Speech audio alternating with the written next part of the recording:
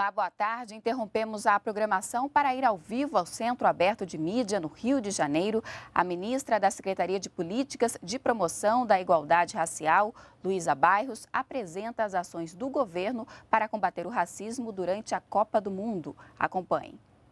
Quando fizerem as perguntas, façam pausadamente, porque nós estamos tendo tradução simultânea para o inglês e para o espanhol. Alguns colegas não falam português. Então, é, ministra, vamos começar com a sua fala. Ok, bom dia, bom dia a todos e a todas. Em primeiro lugar, agradecer ah, pela presença aqui de todos os veículos. Ah, o tema que foi proposto para a nossa conversa, para essa coletiva, foi a questão do racismo. E aproveitando essa ocorrência, né, o acontecimento da Copa no Brasil, também o racismo no futebol, ah, da nossa parte no governo federal, apenas colocar que essa é uma questão, ah, o enfrentamento ao racismo e mais especificamente o enfrentamento dos seus efeitos na vida das pessoas, é algo que passou a fazer parte da, da agenda é, governamental a partir de 2003, quando foi criada a Secretaria de Políticas de Promoção da Igualdade Racial, a CEPIR, da qual eu sou titular, e nós temos, desde então, ah, desenvolvido uh, um conjunto de iniciativas, de agendas que hoje se traduzem em planos e programas que dizem respeito a segmentos específicos da população negra no Brasil, a exemplo dos quilombolas, das comunidades de matriz africana, da juventude, das mulheres. E, para além disso, temos em linha ah, com esse processo mais amplo de inclusão ah, ao qual o governo tem se dedicado nos últimos anos, temos desenvolvido a uma série de iniciativas voltadas para a adoção de ações afirmativas no Brasil. Essa tem sido a parte, digamos, mais visível uh, do nosso trabalho e que aponta, digamos, para um modelo uh, de atuação governamental dentro dessa agenda que tem uma cara é, muito específica uh, do Brasil e do que nós fomos capazes de pensar e desenvolver ah, como ação ah, de inclusão social de grupos historicamente discriminados. É, eu acho que a título inicial seria Talvez isso. Talvez a senhora possa falar sobre o Disque Racismo, que é o seu projeto certo. que está aí para ser implementado. Exatamente. E dentro desse processo, uh, nós institu já tem, já existe instituída dentro do governo uma ouvidoria de promoção da igualdade racial essa ouvidoria tem como é, finalidade, entre outras, também acolher da parte da sociedade denúncias de discriminação racial, que a partir da ouvidoria são então encaminhadas para outros órgãos, é, para as autoridades dos poderes de justiça, para que se dê seguimento a essas denúncias e devido ao fato de que nós não temos ainda no Brasil uh, um espaço para onde todas essas denúncias possam convergir uh, com mais rapidez e, consequentemente, também uh, obter da parte eh, do Estado maior, uma maior celeridade nas respostas, nós estamos agora ultimando os preparativos para instituir um disque, um serviço que se chamará Disque Igualdade Racial, é um tridígito que já foi disponibilizado, é, que deverá ser o, o 138, ah, através do qual todas as denúncias de racismo poderão ser rapidamente é, recebidas e distribuídas para a ação das autoridades competentes. Seria isso. Ok. Doutor Márcio? Bom dia. Uh, primeiramente, gostaria de agradecer o convite e poder participar dessa coletiva, podendo contribuir, né, externar um pouco dessa preocupação que há com relação a um preconceito e o racismo, especificamente dizendo, que ele é bem evidente e forte, principalmente não só no dia a dia, mas também no futebol. É, algumas pessoas sabem, outras não, mas eu passei este ano por uma situação no campeonato regional. Eu sou do Rio Grande do Sul, passei por uma situação de racismo num jogo do campeonato estadual entre as equipes do Esportivo de Bento Gonçalves e Veranópolis, onde antes de entrar para iniciar a partida já fui alvo de ofensas e xingamentos por parte de um grupo de torcedores de 15 a 20 pessoas que me chamaram de negro, macaco, volta para a África, volta para a selva. É, no final da primeira etapa, os mesmos xingamentos. Ao retornar para iniciar a partida novamente e no término do jogo, de novo. Após a partida, quando eu fui me deslocar para pegar meu veículo, que estava no estacionamento privativo deste clube, destinado somente à arbitragem sem acesso de torcedores, o meu carro estava com as portas amassadas a pontapés bananas sobre o veículo e quando eu fui dar a partida do mesmo, caíram duas bananas do cano de escapamento. Então, não foi um fato isolado, eu já havia passado por essa situação anteriormente, também em competições no Rio Grande do Sul, de onde eu sou natural, em 2005, com um treinador de uma equipe que havia me chamado de macaco coitado, e em 2006, quando um jogador de uma equipe também havia me chamado de macaco ladrão, e é um, uma manifestação que acontece e bastante no nosso futebol, infelizmente. Né? E neste ano de 2014, infelizmente, aconteceram vários casos em sequência, né? com o Tinga, né? um jogador do Cruzeiro, na Copa Libertadores. Depois aconteceu comigo, apitando uma partida no Campeonato do Rio Grande do Sul depois com Arouca, com Daniel Alves e com outros tantos que não se expõem em relatar essa situação que acontece seguidamente.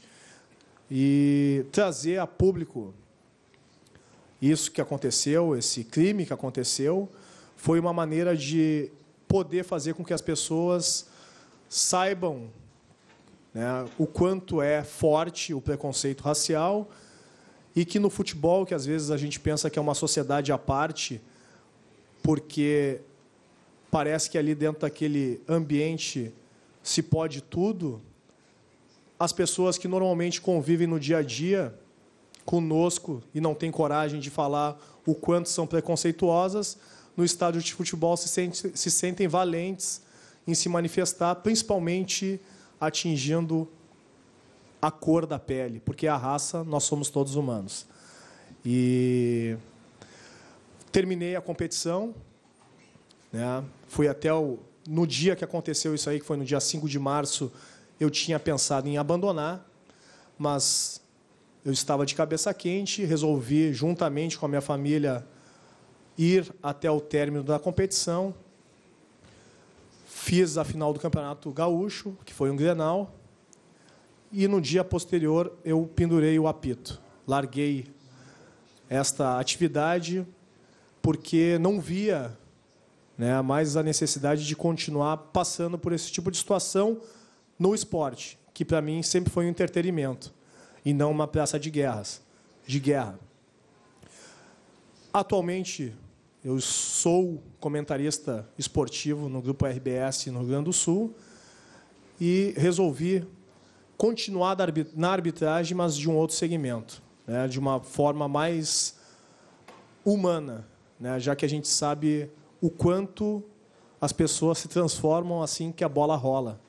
Há muitas pessoas que normalmente são nossas amigas, daqui a pouco viram inimigas por um esporte que deveria ser um entretenimento. Muito obrigado. É, ministra, só se eu puder é, ajudar no debate, ah, talvez a senhora possa comentar a decisão da presidente Dilma de transformar essa na Copa Sem Racismo, e ela fez é, a, alguns pronunciamentos através do Twitter, né, que repercutiram mundialmente. Talvez aí a gente contribua para o debate. É, eu acho que, é, em função, inclusive, é, de tudo o que nós temos através da CEPI é, feito dentro do governo federal e criado de possibilidades para que, é, especialmente, as pessoas negras no Brasil possam ser alcançadas é, por essas políticas públicas que têm aberto tantas oportunidades na sociedade brasileira, é, nós consideramos que, é, no contexto da Copa, o Brasil estaria é, num lugar extremamente privilegiado para é, protagonizar essa campanha é, contra o racismo e, mais especificamente, o racismo no futebol, até porque existem esforços concretos e efetivos na sociedade brasileira para que a discriminação não mais atue no sentido de limitar as possibilidades e as oportunidades é, para as pessoas. É, nós temos hoje é, em vigência no Brasil ah, uma lei que institui ah, cotas ah, para estudantes de escola pública e, dentro disso, também para estudantes negros, que já está universalizada em todas as universidades federais e nos institutos federais de tecnologia. Aprovamos e foi sancionada pela presidenta recentemente uma lei que institui 20% uh, de vagas para negros nos concursos públicos federais o que inclui não apenas a administração direta, mas também as, as empresas públicas, fundações, sociedades de economia mista, é, e são é, ações afirmativas que vêm se somar a outras existentes por iniciativa de outros ministérios, como é o caso do Ministério da Educação, ah, que ah, colocou à disposição da sociedade um programa de desenvolvimento acadêmico chamado Abdias do Nascimento, ah, que cria oportunidades para ah, o estudo ah, de eh, graduandos e pós-graduandos negros, indígenas, estudantes portadores de deficiência, para que tenham uma experiência internacional, para que também estudem em universidades é, de outros países, ao mesmo tempo que fazem o curso no Brasil. E um programa mais antigo, que é o programa Bolsa Prêmio Vocação para a Diplomacia, instituído ah, pelo MRE já desde 2002, que visa exatamente ah, bolsas de estudos para estudantes negros candidatos à carreira diplomática, para que possam obter a preparação necessária para se submeter aos exames do Instituto Rio Branco. Uh, isso eu estou dando apenas como exemplo, mas são exemplos extremamente fortes e que nos colocam uh, numa posição política bastante confortável para propor essa Copa como a Copa sem racismo, até porque, uh, como o Márcio Chagas mencionou, nós temos tido, desde o final é, do ano passado, uma ocorrência mais frequente é, de casos de racismo, não a ocorrência, mas um aumento na denúncia é, dos casos de racismo e uma boa parte dessas denúncias, a partir de um determinado ponto, é, passou a ser a, as denúncias referidas ao racismo no futebol. Então, isso, inclusive, dá para nós é, uma dimensão é, muito evidente uh, de como essa questão no Brasil passou a ser encarada de frente, é, deixou de ser algo para ser escondido, ah, camuflado, para que as pessoas cada vez mais denunciassem o racismo que estão sofrendo, até porque existe também no país um marco legal é, relativamente avançado, ah, ao qual as pessoas têm que cada vez mais recorrer para fazer valer a aplicação é, da lei e o princípio constitucional que no nosso país coloca o racismo como um crime é, inafiançável. Ok, obrigado, ministra. Então vamos começar a sessão de perguntas e respostas.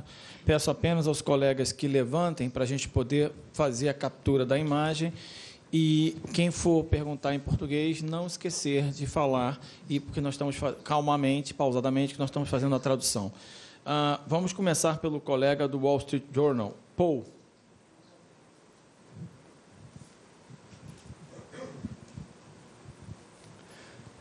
Bom dia, boa tarde. É Paul Kiernan, do Wall Street Journal. Eu gostaria de saber o que, que o governo brasileiro está fazendo ou pretende fazer para evitar outras formas de discriminação, é, principalmente em função da orientação sexual. É, nesse evento, temos visto muitas expressões homofóbicas de milhares de torcedores nos estádios e até agora a resposta do governo eu pelo menos não tenho visto. Obrigado. Eu não sei se a senhora tem acompanhou, teve alguns jogos que torcidas se pronunciaram. Uhum. A gente responde à medida que vai aparecendo? Sim, sim, sim. Pode tá bom. Ah, em relação a isso, e no que se refere mais especificamente à questão da, da homofobia, é a isso que você se refere, ah, o governo federal trata dessa questão através da Secretaria de Direitos Humanos. É onde existe constituído, inclusive, é, um conselho LGBTT uh, que trata especificamente disso e tem uma série de, de ações. Inclusive, existe no governo o Plano Brasil Sem Homofobia, uh, que vem sendo posto em prática e articulado dentro do governo pela Secretaria eh, de, Direitos, de Direitos Humanos. Uh, para além disso, a própria SDH mantém ah, um número ah, que é o Disque 100, que é, é, para o qual as pessoas podem ligar quando sofrem diferentes tipos de, de discriminação, inclusive a discriminação homofóbica. E através dessa, do registro dessas denúncias, são encaminhados, se fazem os encaminhamentos normais que as ouvidorias é, geralmente fazem. Agora, em relação especificamente aos casos de discriminação que têm acontecido agora nos Jogos da Copa, a FIFA estabeleceu é, forças-tarefas para cuidar desses casos que têm acontecido ah, dentro de campo. É, nós não temos um acompanhamento uh, mais próximo disso, porque fica é, por conta é, da entidade que organiza nesses casos que acontecem dentro do campo do campo de futebol. Então é uma questão agora nessa nessa no decorrer dessa semana de ver como serão os diálogos é, com a Secretaria de Direitos Humanos através da ministra Ideli Salvati para ver se existe, da parte do governo brasileiro, algum tipo de contribuição que os organizadores te, queiram para o encaminhamento posterior desses casos. Agora vamos conversar com um colega do Brasil, Portal Terra, Marcele. Só um minutinho pegar o microfone, Marcele, por favor. Obrigado. Ministra, é, a gente já teve casos de argentinos presos por racismo contra brasileiros aqui durante a Copa. E eu queria saber, é, primeira pergunta, se a senhora tem um balanço de, se, se, de quantas pessoas foram presas é, ou denunciadas por racismo especificamente durante os jogos. E uma outra questão é o racismo na internet. A gente tem casos é, de espanhóis é, atacando brasileiros, é, é, fazendo né, críticas em Twitter, em Facebook, chamando os brasileiros de macacos, enfim. Queria saber quando esse, esse, esse, problema acontece nas redes sociais, como é que o governo pode agir? E se a senhora acha que a FIFA, a campanha da FIFA, as campanhas que estão sendo feitas atualmente, se são suficientes? A FIFA, inclusive, tem uma campanha é, contra o racismo. Essas campanhas elas não estão sendo eficazes para a gente continuar tendo casos durante os jogos? Olha, em primeiro lugar, o que nós temos que pensar é o seguinte: uh, o racismo ele não é um fenômeno localizado ele não é algo que ocorre apenas no Brasil. Nós estamos hoje ah, num mundo, vamos dizer assim, é, vivendo um momento que é um momento de ah, maior visibilidade, inclusive, dos casos de racismo. Ah, em diferentes sociedades, há diferentes grupos que servem de alvo. para esse tipo de manifestação. A gente tem visto isso ah, em outros países latino-americanos, tem visto isso eh, na Europa, ah, não necessariamente com afrodescendentes, mas frequentemente com afrodescendentes, mas vemos isso também acontecer com grupos migrantes, temos visto acontecer eh, com grupos eh, de povos e culturas e culturas ciganas. Então se trata é, de, de, algum, de uma manifestação, digamos assim, que é muito mais profunda é, nessas sociedades onde nós todos vivemos. Acho que as campanhas que têm sido feitas ah, para além é, dos próprios organizadores da Copa, aqui no Brasil, várias instituições, para além do governo federal também, se engajaram nisso. A Câmara Federal tem uma campanha que está no ar hoje, que fala que racismo não é brincadeira, racismo não é piada, racismo é crime no Brasil. Então, esses casos, como eu disse, em relação à questão da homofobia, esses casos que acontecem dentro dos estádios são encaminhados por essa força-tarefa e ah, existe é, em todas as cidades sedes é, delegacias que podem receber essas denúncias e nós estamos acompanhando e veremos, porque os casos ainda não tiveram nenhum desfecho, eu, portanto, não posso é, antecipar. Veremos qual será o desfecho disso. Mas sabendo, obviamente, ah, que todas as pessoas, brasileiras ou não, estão sujeitas à lei que vigora, à lei que vigora no Brasil. Quanto aos casos de racismo na internet, esses todos nós encaminhamos para a Polícia Federal que tem um setor é, especializado e que tem trabalhado conosco dentro do governo em relação a isso, no sentido de você rastrear a autoria ah, desses comentários é, que são feitos. Ah, nós temos, é, na, na, nossa experiência mais recente, ah, geralmente esses comentários é, que são veiculados através de algum provedor conhecido, o nosso, o nosso comportamento tem sido no sentido de entrar em contato com quem é responsável pela veiculação dessas mensagens e, a partir disso, então, fazer os arranjos né, e os acertos, os acordos que são necessários para que isso ah, não mais aconteça. Mas são casos ainda, são casos recentes, portanto, ainda estão sob tratamento, ainda não temos ah, o desfecho final deles, ok? Só, só um minutinho, no microfone. Se já existem tantas campanhas, por que, que a gente continua tendo esses problemas? Essas campanhas elas não estão sendo eficazes? É isso é que é, isso que eu achei que eu tivesse explicado é, tivesse explicado é, na primeira parte da minha resposta.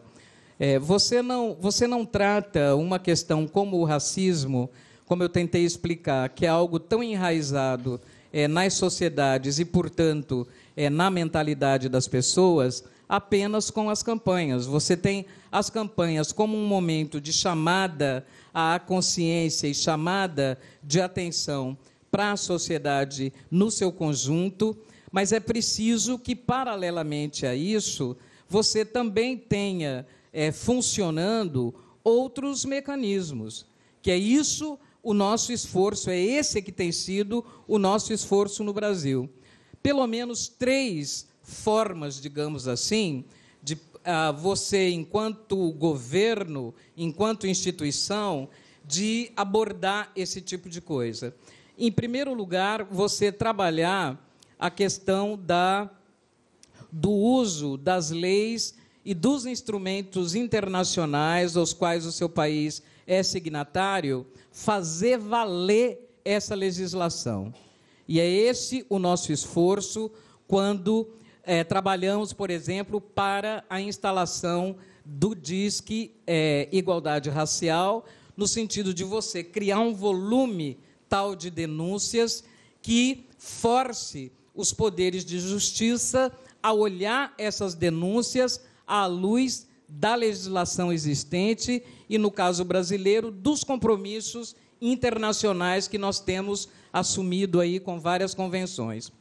O segundo aspecto na luta contra o, o no enfrentamento ao racismo é pegar os efeitos do, do racismo na vida das pessoas, que são as desigualdades raciais que são criadas. Então, é preciso trabalhar com políticas que visem promover a igualdade entre brancos e negros, a exemplo daquilo que eu disse antes do que temos feito ah, aqui no país em relação às ações afirmativas e vários outros programas que são dirigidos a segmentos específicos é, da população negra.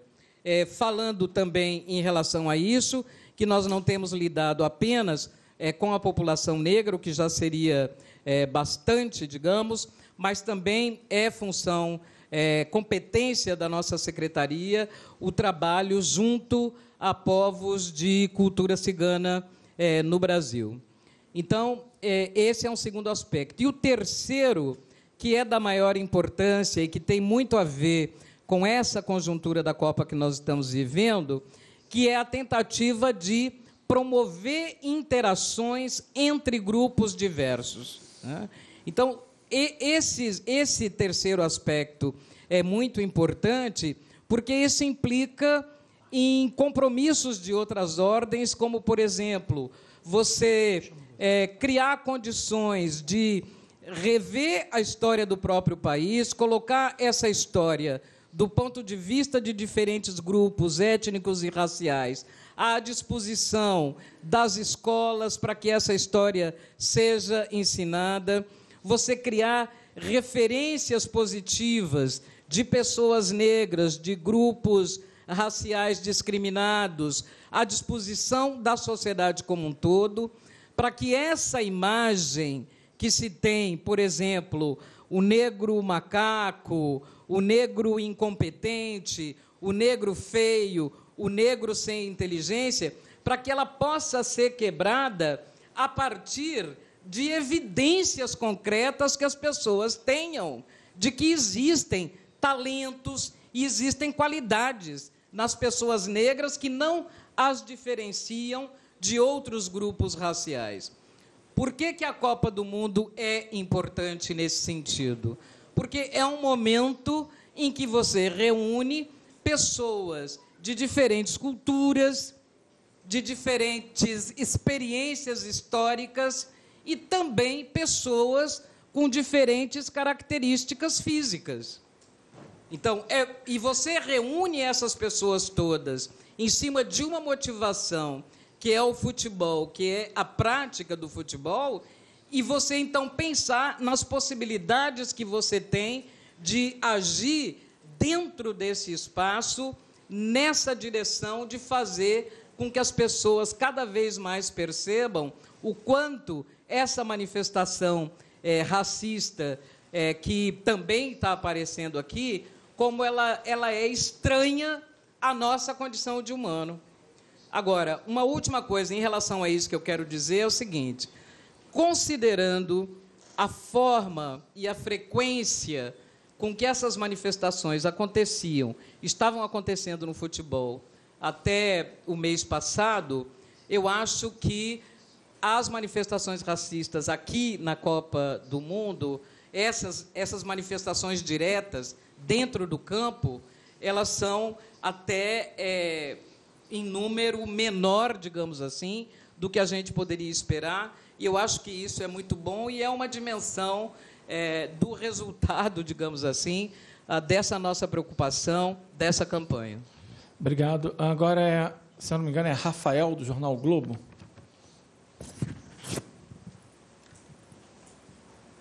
Boa tarde, ministra. É, a senhora falou em aumento do último ano para cá dos casos, das denúncias de racismo, né? E especificamente no futebol. É possível quantificar esse aumento? Durante a Copa já há números dessas denúncias? E mais uma questão, por exemplo, as torcidas do Brasil e do México já estão sendo, né, já está sendo apurado aí, estão sendo apuradas manifestações racistas e homofóbicas em campo. Como o governo brasileiro vai tratar essas questões é, e não, não só a FIFA tratando essa questão. Eu, eu, eu achei que já tivesse respondido. É, assim, é, ele voltou ao tema porque ele incluiu é, racismo na mesma, na mesma questão. Né? É, então é isso que eu estava te... é isso que eu estava tentando dizer. acho que talvez valha reforçar. Governo, né? Acho que talvez valha a senhora reforçar que a polícia ainda está investigando e que é muito exato, prematuro. Exato, exato. É muito prematuro, como é, ela colocou. É, né? É, o, tem um processo. O que pretende fazer, né? O, o, procedimento, Rafael, né? O procedimento, Rafael, é, é você colher a, a denúncia. Em primeiro lugar, você tem que identificar as pessoas que, que cometeram isso dos casos que nós temos aqui, ah, nem, todos os, nem todos os casos ainda as pessoas foram é, identificadas, ok? Entendo as pessoas identificadas, você então faz um registro policial, existem delegacias em todas as arenas é, preparadas para receber esse tipo de denúncia, e a partir dessa denúncia você faz então um encaminhamento para o Ministério Público. Então é só esse tempo aí que eu estou pedindo, para que isso aconteça, para que a gente possa contar para vocês qual é o desdobramento dessas qual é o desdobramento desse, desse procedimento. É, ainda está tá cedo, e, porque tem um processo é, de investigação da polícia que nós não podemos interferir. Tão logo isso aconteça, aí a gente dá seguimento aí, tá? Quantificar, a senhora tem já? Ah, sim, não, a quantificação não temos, não temos ainda a quantificação, mas como eu lhe disse, a, os casos mais frequentes têm sido de manifestações pela internet, muito mais do que essa manifestação é, presencial é, nos estádios. Uh, TV NBR, é, é Isabelle, pode ser? Oi, Isabelle. Oi, Isabela, TVNBR, Voz do Brasil. Ministra, eu queria que a senhora falasse um pouco mais sobre o Disque Igualdade Racial. Se tem alguma, é, já tem alguma data, quando pode começar a funcionar? Se a central vai ser em Brasília, se vai acolher denúncias do Brasil inteiro? Se, se tem alguma, uh, em que período do dia, se vai funcionar o tempo inteiro, durante a semana, de semana? E como é que as denúncias vão ser encaminhadas para os órgãos competentes? Se é uma, um encaminhamento direto, se não, enfim. Uhum.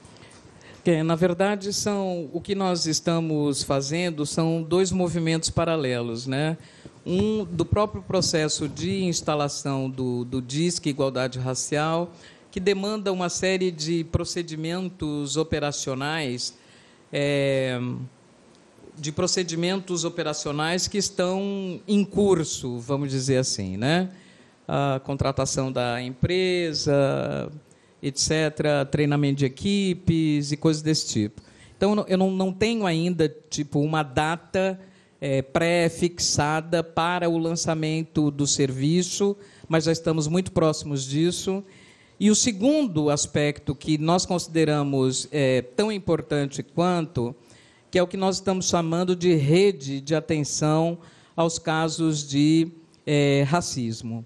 Essa rede, ela começa é, com os ministérios públicos estaduais, que são é, instituições é, extremamente importantes, porque cabe a ação, é, cabe a, é de iniciativa a, do Ministério Público.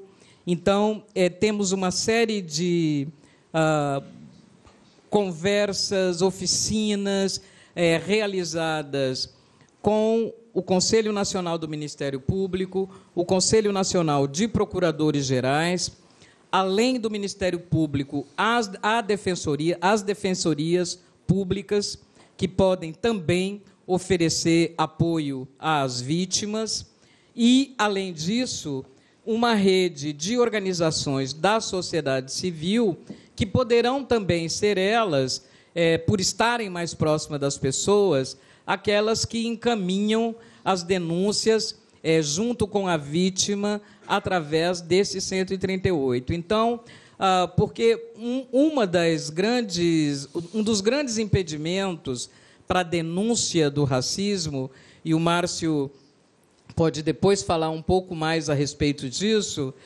é, uma, é a dificuldade que as vítimas têm é, de declarar publicamente que foram discriminadas. Né? Porque o, o, é como se fosse uma. Momentaneamente, quando você sofre o racismo, é como se você ficasse incapacitado, inclusive para pensar. Inclusive para pensar.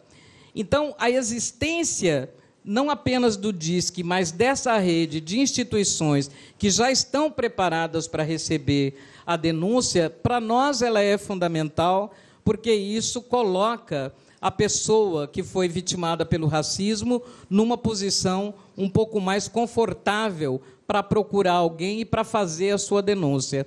Porque, na medida é, da experiência que nós temos, é, e você talvez tenha passado por algo semelhante, Márcio, a tendência das pessoas, quando você diz que foi discriminado por ser negro, a tendência das pessoas é dizer que não foi isso, que isso é apenas uma impressão sua, que na verdade o que aconteceu foi uma outra coisa e você, por um complexo, está achando que foi discriminado racialmente. Então, são esses os cuidados, inclusive, que nós temos que tomar para poder ter esse DISC 138, é, porque ele vai implicar é, num processo de sensibilização e de mobilização é, dos poderes de justiça para poder fazer valer a denúncia que vai ser feita. É, só para vocês terem uma ideia, nós temos no Brasil um registro ainda muito baixo de admissibilidade de crimes de racismo pelo judiciário. Portanto, esse cuidado, não é, que nós temos tido nessa preparação, eu acho que ele é mais do que necessário para que, inclusive, a magistratura no Brasil entenda que existem leis antirracistas que podem ser é, é, usadas nesses casos. Eu vou passar para o Márcio para ele falar um pouco, né, Márcio, dessa Exatamente. Então, como a ministra mencionou, né, eu, infelizmente, nesse último episódio que eu passei, eu não tinha essa oportunidade de poder denunciar através do Disque Racismo. E há, sim, uma barreira muito grande para se fazer essa denúncia, porque eu tentei o auxílio via delegacia, não, primeiro online, não tem, não tem esse item né, que diz sobre o racismo no site, pelo menos da, da Polícia Civil no Rio Grande do Sul. Então eu tive que ir até a delegacia para poder fazer essa ocorrência. E as pessoas questionam, mas que que tu escutou? Não, mama, foi só isso. Sabe como se chamar alguém de negro, macaco, filho disso, filho daquilo e outros tantos adjetivos que vêm no pós chamamento do negro fossem coisa que não se, não se levasse em consideração. Né? E só quem é negro sabe o quanto isso machuca e o quanto isso dói. Porque as pessoas não conseguem dimensionar o quanto tu te sente incapaz né? e violado, violentado com a situação, porque tu fica, assim, sinceramente, perplexo com tudo. Tu fica assim, só um pouquinho. É isso mesmo? É, e quem xinga não consegue dimensionar o quanto isso fere o ser humano. E é uma dor que não tem como compartilhar. Só quem é negro ou quem passa por uma situação dessas é que sabe o quanto dói. Gente, já estamos passando nosso tempo, meio-dia, temos tempo para mais duas perguntas. E depois, se as TVs quiserem, a gente gravar a sonora aqui fora, tá? Vamos agora com Miriam, da TV Net.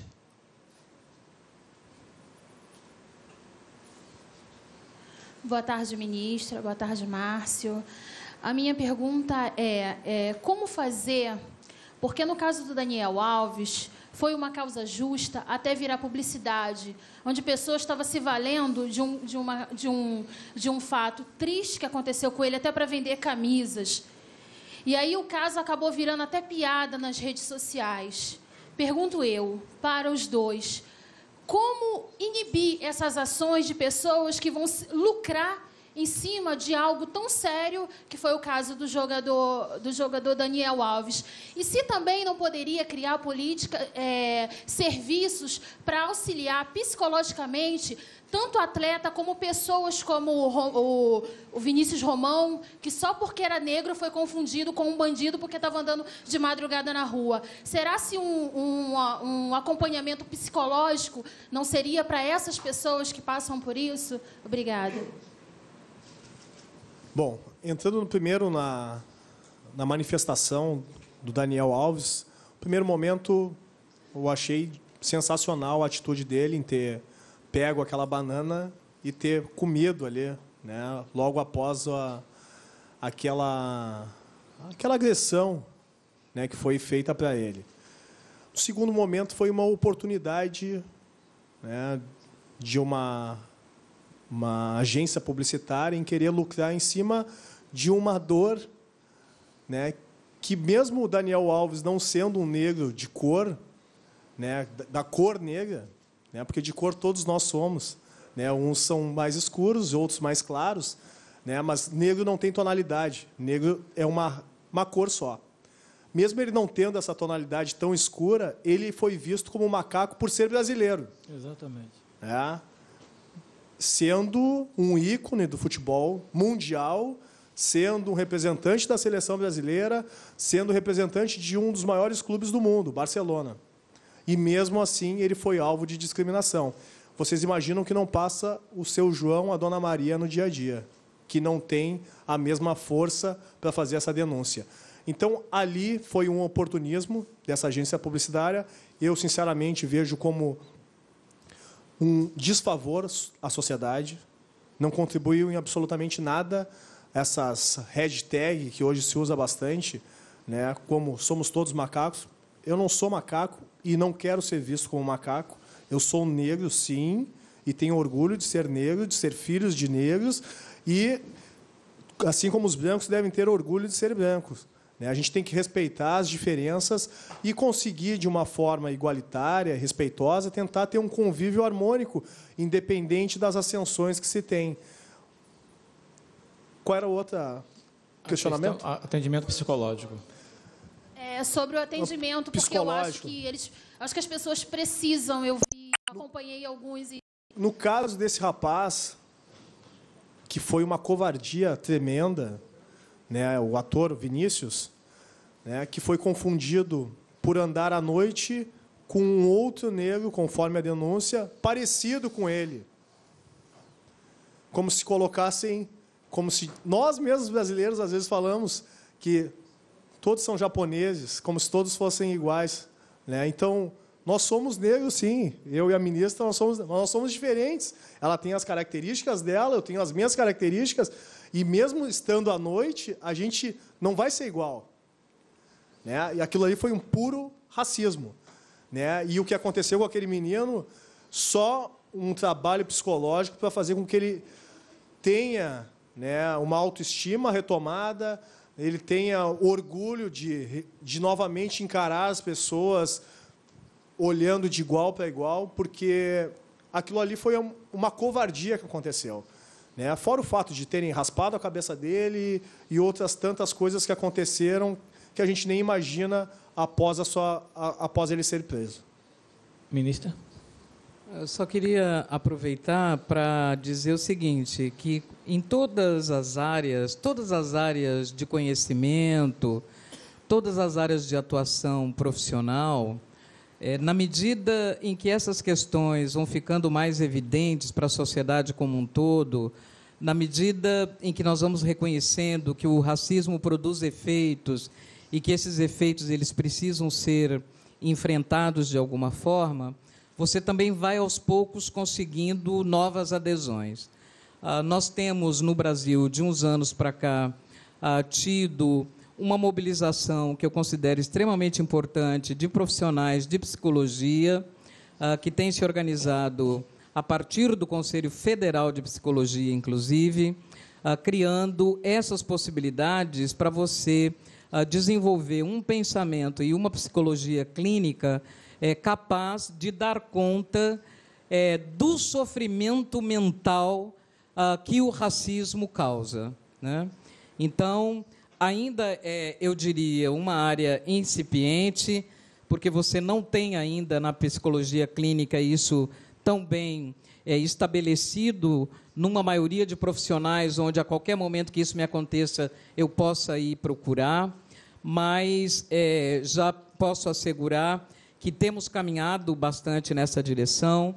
A CEPIR, inclusive, tem procurado apoiar encontros é, desses profissionais, exatamente como possibilidade de que nós tenhamos um tipo de acolhimento para as denúncias de racismo que dê conta não apenas dos seus aspectos jurídicos, mas dessa dimensão psicológica que pode ser uma coisa tão debilitante é, para muitas pessoas, nós sabemos. E vamos encerrar com a Suelen da Rádio Estadão?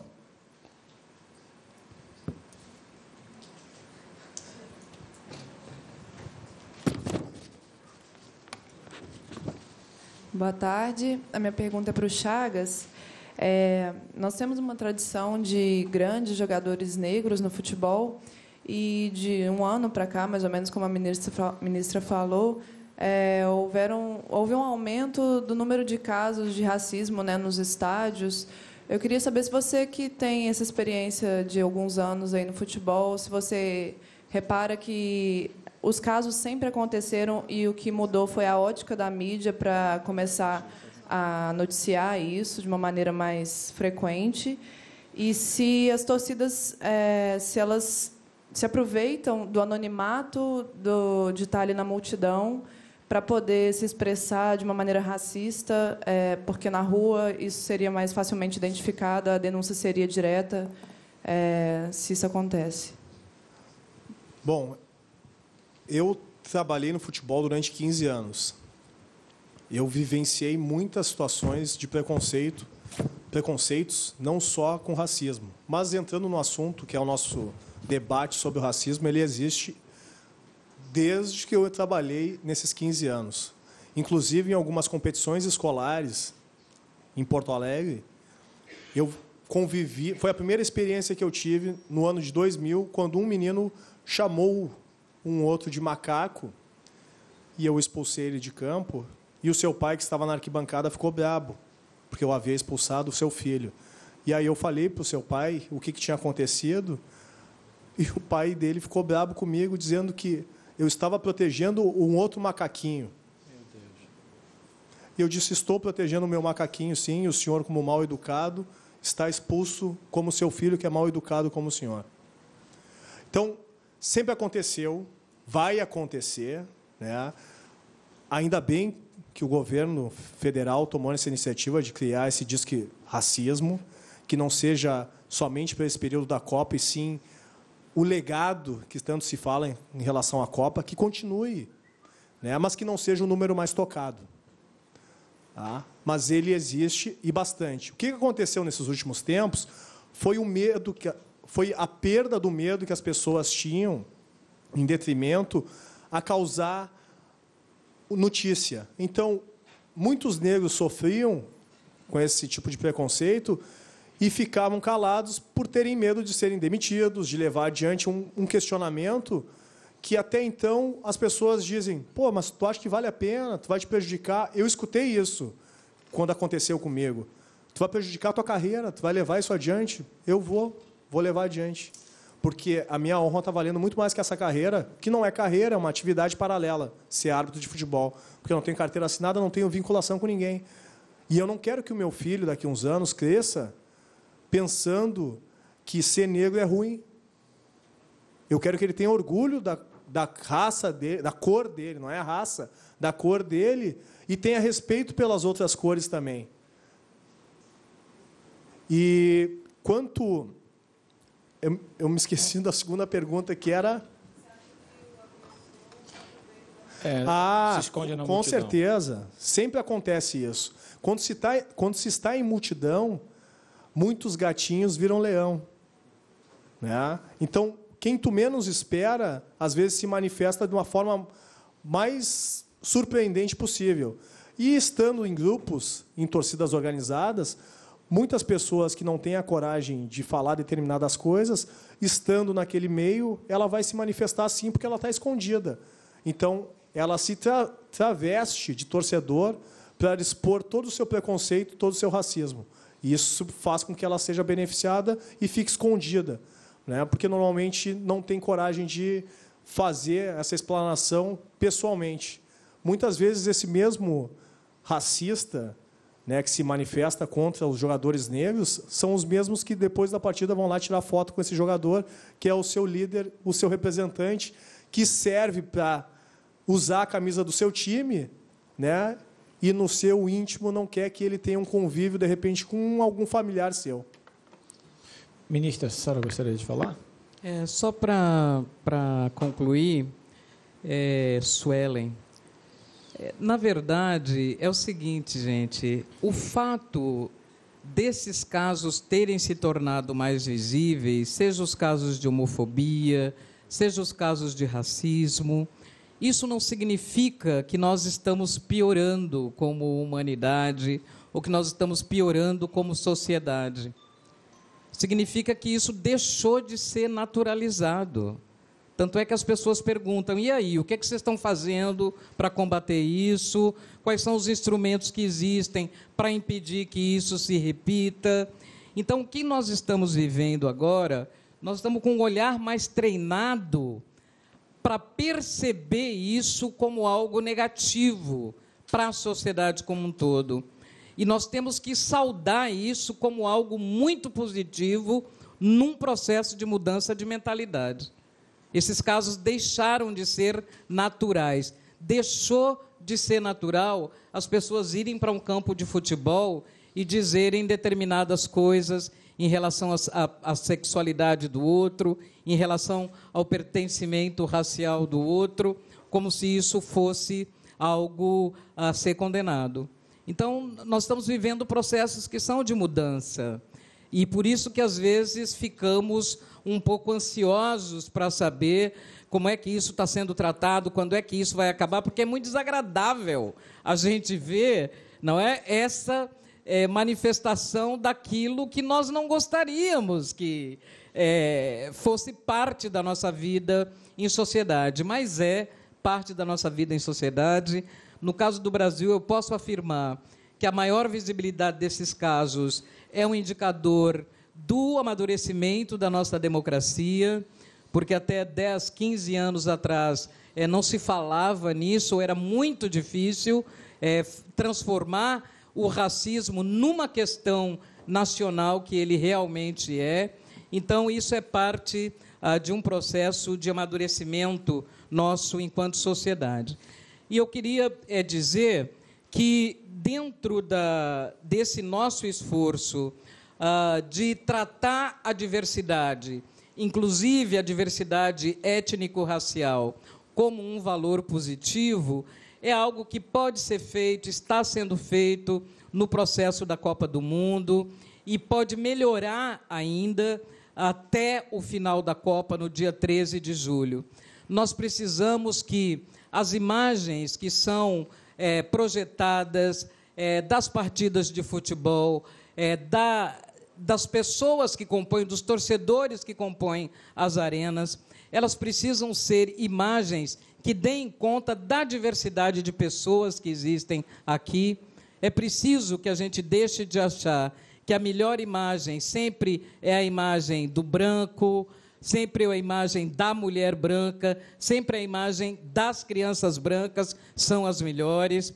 Nós precisamos achar espaço até o final dessa Copa para que aquelas crianças que acompanham as seleções na entrada, no início dos jogos, não sejam majoritariamente crianças brancas, como tem aparecido agora, porque afinal de contas nós temos no Brasil 100 milhões de pessoas negras, nós temos no Brasil a maior população árabe fora da, da região original, a maior população japonesa fora é, da Ásia. É uma sociedade diversa o suficiente para que essa diversidade também seja representada é, dentro do campo de futebol, dentro das torcidas, mas para isso vai ter que haver um esforço nosso do nosso olhar valorizador dessas diferenças, para que a gente projete com mais força e com mais propriedade essa ideia da Copa das Copas, uma Copa sem racismo. Muito obrigado. Ministra, muito obrigado, agradeço, Márcio. Queria agora pedir aos colegas de rádio e de TV que quiserem gravar, ali fora, como sempre, nós vamos fazer a, a gravação de sonora. E aos colegas, vamos dar aqui um recado. Posso, por favor, um aviso à coletiva da você assistiu ao vivo a entrevista coletiva no Centro Aberto de Mídia, no Rio de Janeiro. A ministra da Secretaria de Políticas de Promoção da Igualdade Racial, Luísa Bairros, falou sobre as ações contra o racismo na Copa do Mundo. A intenção é coibir crimes raciais e conscientizar a população e os visitantes de que a prática discriminatória referente à raça, cor, etnia, religião ou origem é crime inafiançável, imprescritível e sujeito à pena de reclusão. De acordo com a FIFA, a Copa é uma importante ocasião para reforçar a mensagem de que o futebol é para todos. E nós podemos voltar a qualquer momento com outras informações. Continue com a gente aqui na NBR, a TV do Governo Federal.